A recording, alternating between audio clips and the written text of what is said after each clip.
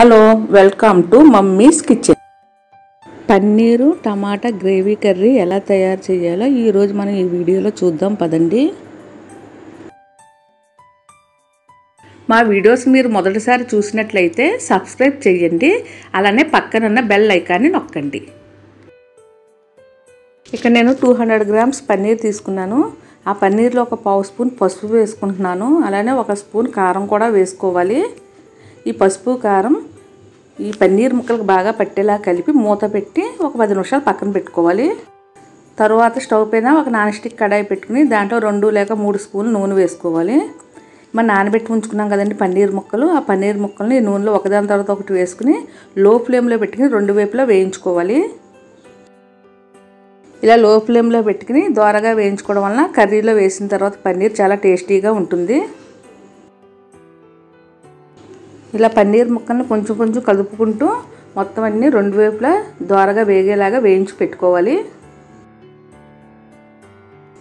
ఇలా చేసుకున్న పన్నీర్ కూర రైస్లోకి బాగుంటుంది అలాగే చపాతీలోకి పుల్కాల్లోకి కూడా చాలా బాగుంటుంది.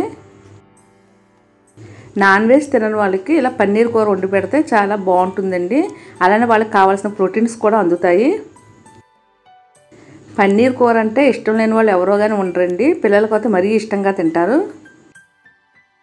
పన్నీర్ ముక్కలు అన్నిటిని వేయించి తీసి పక్కన పెట్టుకోవాలి. తిరిగి అదే నూనెలో ఒక స్పూన్ జీలకర్ర వేసి వేయించుకోవాలి. ఇలా జీలకర్ర కొంచెం వేగిన తర్వాత దీనిలో కట్ చేసి పెట్టుకున్న ఓ రెండు పెద్ద ఉల్లిపాయలు అండి చిన్న చిన్నగా ముక్కలుగా కట్ చేసుకుని అవి రెండు పచ్చిమిర్చి ముక్కలు వేసి లో ఫ్లేమ్లో పెట్టుకుని ఉల్లిపాయ ముక్కలు బాగా మగ్గే వరకు వేయించుకోవాలి. తర్వాత దీనిలో రెండు బిర్యానీ ఆకులు కూడా వేసి వేయించుకోవాలి.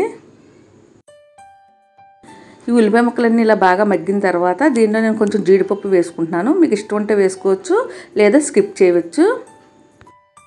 మీరు కావాలనుకుంటే కనుక మరికొన్ని కూడా జీడిపప్పులు యాడ్ చేసుకోవచ్చు.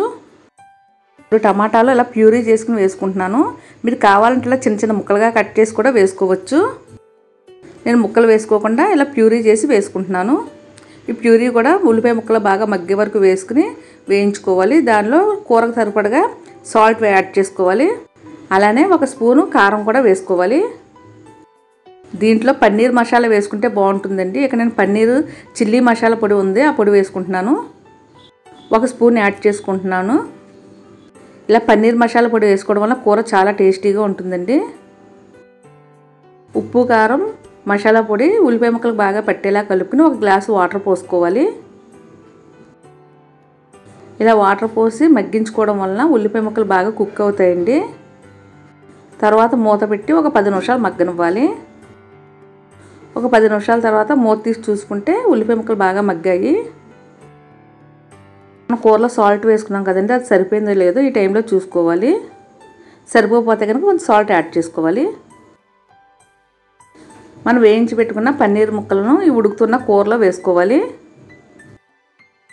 ఈ పన్నీర్ కూరలోకి కస్తూరి మేది వేసుకుంటే చాలా టేస్టీగా ఉంటుందండి.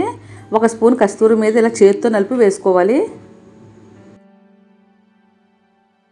తర్వాత కూరపైన మూత పెట్టుకుని స్టవ్ని లో ఫ్లేమ్లో పెట్టి ఉడికించుకోవాలి. ఒక పది నిమిషాల తర్వాత మూత తీసి చూసుకోవాలి. కూర ఇలా దగ్గరికి అయిందండి.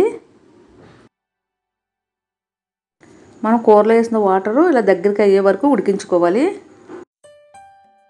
ఇలా ఉడుకుతున్న కూరలో ఒక పావు కప్పు పెరుగు వేసుకుంటున్నాను. పెరుగు కూడా కూరలో బాగా కలిసేలాగా కలుపుకోవాలి. ఈ కూరలో ఇలా పెరుగు వేసి ఉడికించుకోవడం వల్ల గ్రేవీ చాలా బాగుంటుందండి. చపాతీలోకి పుల్కాలోకి అయితే సూపర్గా ఉంటుంది ఈ కూర. పిల్లలు నాన్ వెజ్ తినని వాళ్ళకి అయితే ఇలా కర్రీ చేసి పెడితే చాలా ఇష్టంగా తింటారండి. అలాగే హెల్తీగా కూడా ఉంటారు.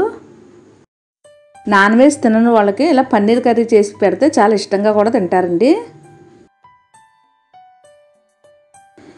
ఇలా రెడీ అయిన కూరను ఒక సర్వింగ్ బౌల్లో తీసుకు సర్వ్ చేసుకోవాలండి. దీనిలో చక్క పెరుగు వేసుకున్నాం అలాగే జీడిపప్పు వేసుకున్నామండి. అలాగే పన్నీర్ కూడా చాలా టేస్టీగా ఉంటుంది. మీరు కూడా ఒకసారి తప్పనిసరిగా ట్రై చేయండి. ఇలా వేయించుకున్న పన్నీర్ వేసుకోవడం వలన చాలా బాగుంటుంది కర్రీ.